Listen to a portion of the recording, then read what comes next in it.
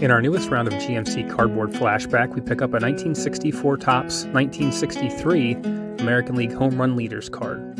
Leading the way on this three picture card is no surprise, as Minnesota Twins slugger Harmon Killebrew led the way that season with 45 home runs.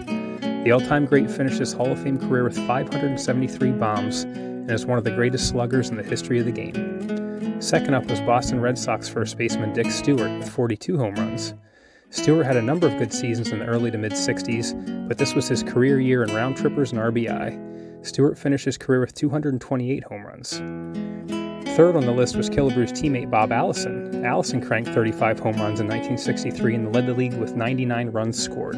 The outfielder slash first baseman finished his career with 256 home runs. Interestingly enough, the fourth place home run hitter in the AL that season was another Minnesota Twins outfielder in Jimmie Hall, who hit 33 home runs. That's a lot of Minnesota Twins home runs. Check out Greg Morris cards for a wide range of Killebrew, Stuart, Allison, and Jimmie Hall cards.